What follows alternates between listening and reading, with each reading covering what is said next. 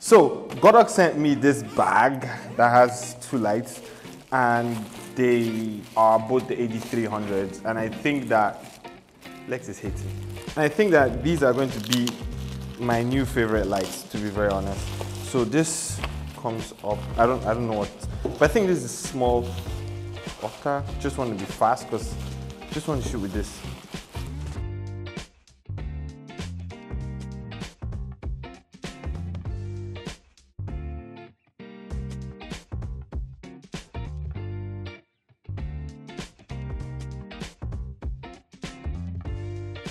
Anyways, I'll let you guys see or show you guys my light setup today. Just wanted to quickly bring this out because I haven't actually like showed you guys this. So I'm going to be shooting with two AD300s and I'll probably add one AD100 as um, the third light or maybe an AD200, depends, but we'll see. So, chop chop, let's get into today's shoot.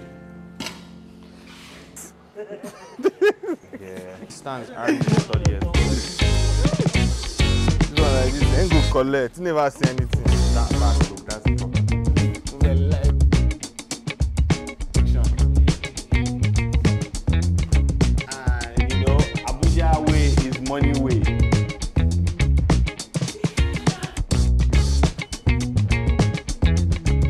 So right now, what I want to do is, or not what I want to do, what I've been doing is I have been shooting with the AD300 Pro and um, the Godox AD-S60S small octabox.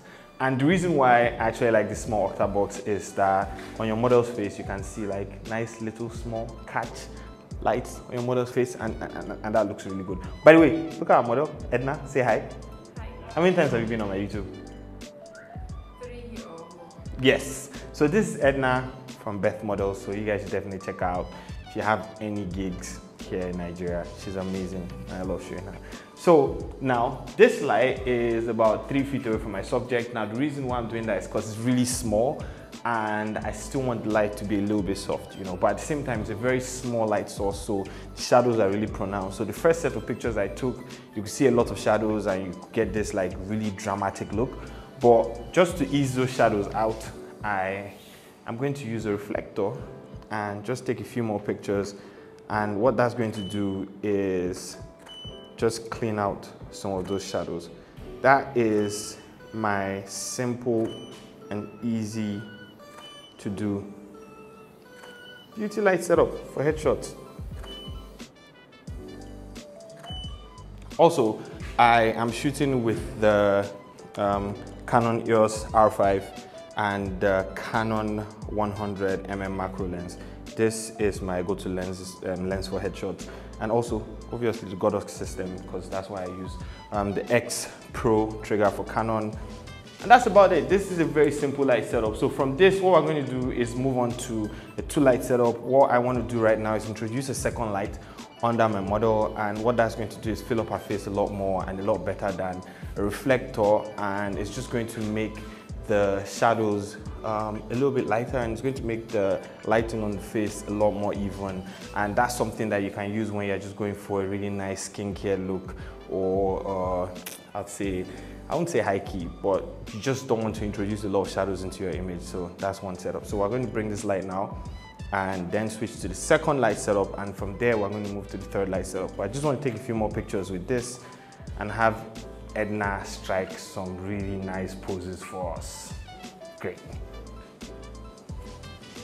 So now, leave the reflector. I don't know why I like the reflector this much. um, okay, so just turn a little bit to the side. Beautiful. That looks gorgeous. That looks great.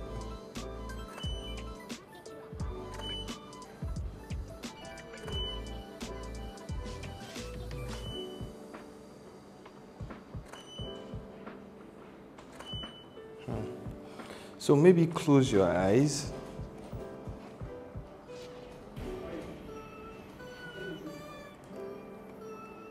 Maybe just close your eyes and look away.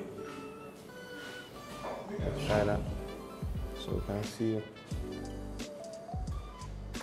Beautiful. I love that.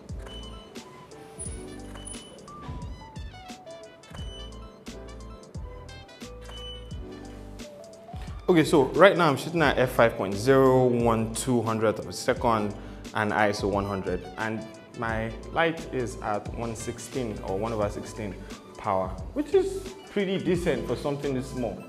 Absolutely love it. I think this is going to be my favorite new, my favorite new light. Another reason why it's actually good to bring in the reflector in this case is just because of the extra catch light that it gives in the eye. Because reflector is bigger, the it just gives, I would say, bigger catch light than a light that is this small. This is really small, so you barely see the catch light. But if I wanted more of that, then I'll use something this big. This is the Godox QRP70.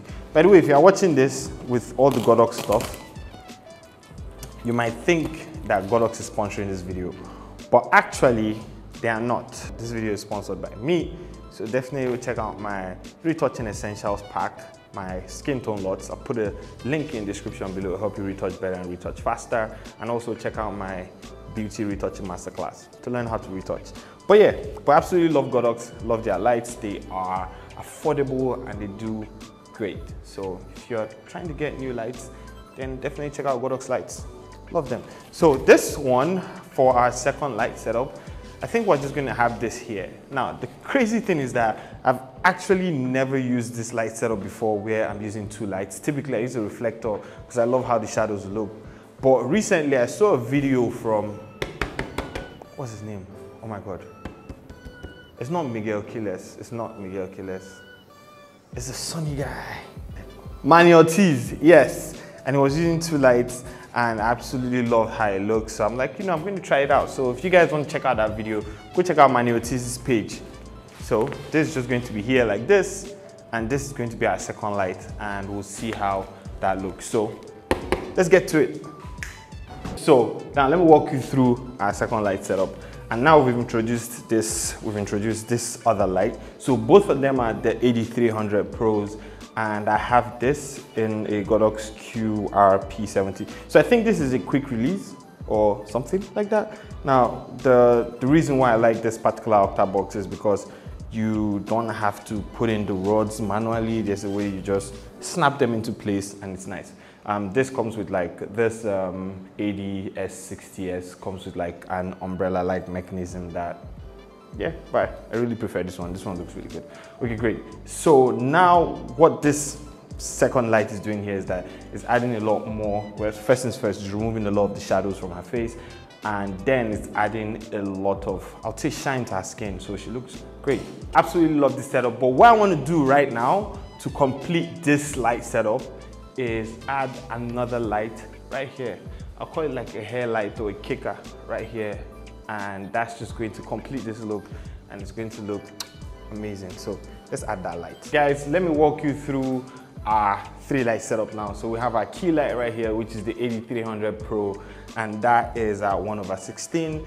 Then we have our fill light down here, which is the AD300 Pro, but in a Godox um, parabolic octabox, and that's 1 over 64. And then we have our um, rim light or hair light over here. So this is just to separate our subject from the background and this is 1 over 128. So these are three light setup. If you actually enjoy this, um, try it out. If you like this, um, you have this much lights at home, then definitely try it out. If you're looking at getting new lights, then definitely try out the Godox because I absolutely love them. Um, they just work seamlessly, obviously. I'm not the first person that is saying this. Go check out any review about Godox lights. But they worked for me. This is my first time using them first time ever. They just work seamlessly. So definitely try it out. Check out our makeup artist, Cass Koncept. Check out our model, Edna. Check out the man behind the camera, Dami. I'll definitely put his handle, Instagram handle in the description. And yeah, that's about it. This is our setup and these are the pictures. Follow me on Instagram to see more edited images. Thank you so much for watching today's YouTube video and I'll see you guys some other time. Peace out guys. Tell them bye-bye. Tell them subscribe. Subscribe, like, and um, if you like the video, share it. If they like the video. Thank you. Bye bye.